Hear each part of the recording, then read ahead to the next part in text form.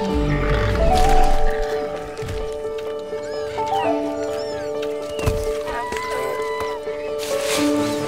was de kleinste van de kudde. En probeerde zijn plaats te vinden. In een immens grote wereld.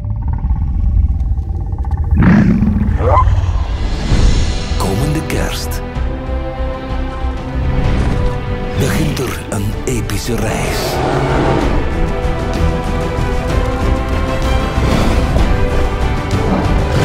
En één moedige doorzetter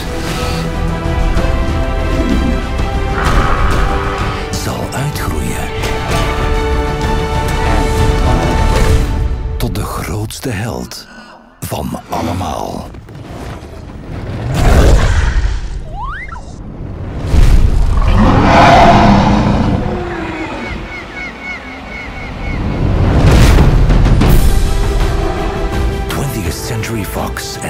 Presenteren.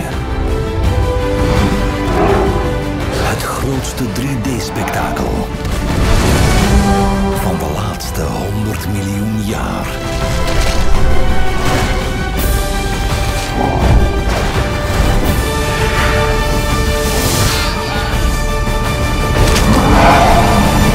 Walk in with Dinosaurs. Het 3D-event.